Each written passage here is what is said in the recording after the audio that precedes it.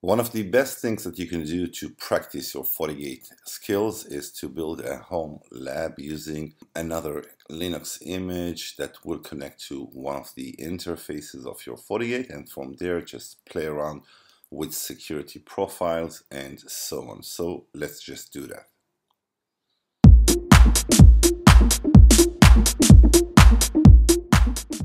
Alright, so now we can see that we are already connected to the WAN interface. That's our WAN interface. So let's just create another interface that will connect, our Ubuntu device will connect to it. So let's edit and name it Ubuntu.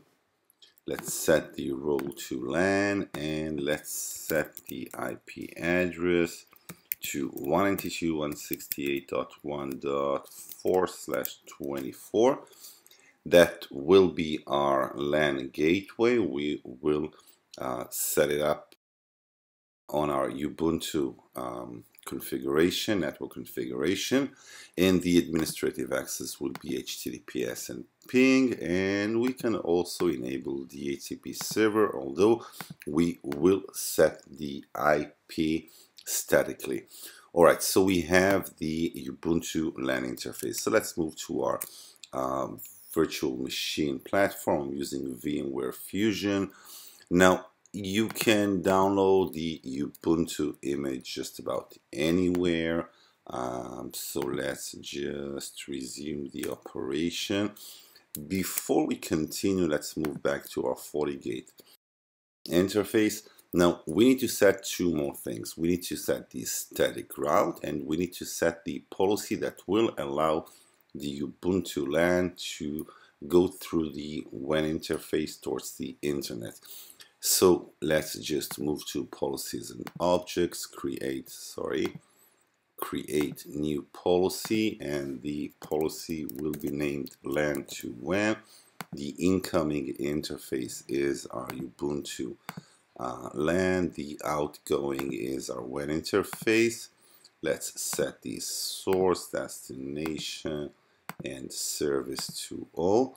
And the inspection mode is flow-based. We will not set any security profiles. You can play with that later on.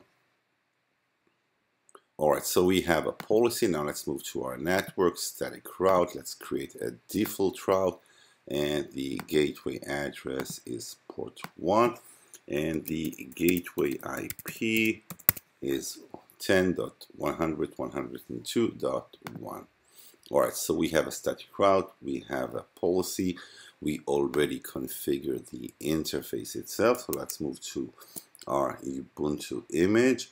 Let's resume the operation. Now the default password is Ubuntu so let's just use that and let's move. You can see that we do not have any connection. Let's just try to ping Google. Nothing. Let's try to ping the IP address of Google's DNS server.